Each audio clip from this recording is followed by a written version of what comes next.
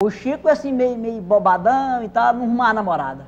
Quando ele fez esse tempo agora, arrumou a namorada. Sei. E o velho ficou satisfeito, que a moça também fazia, já estava completando 30 anos, encalacrada, ninguém queria. Resolveu o velho fazer um almoço pro Chico. Ah, Fez um almoço. Aí, no domingo, no domingo. sentou todo mundo beirando uma mesona comprida na área. Aqui eu comi. E o, e o Chico todo entusiasmado, sentou aqui. E tinha um cunhadinho dele, encapetadinho demais, de uns oito anos, sentou aqui, um loirinho. Sei. E ele tá aqui. Sentou do lado e dele. todo mundo, acabou a comida, É. o Chico foi levantar, rapaz, deu um gás na barriga dele.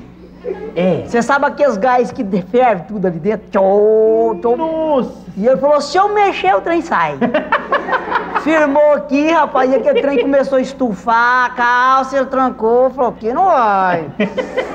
Aí ele teve uma ideia. Teve? Ele falou, você quer saber? Falou, ô, ô, ô, ô, cunhadinho, vou ensinar um negócio pra você. Você quer ver? Faz assim, ó.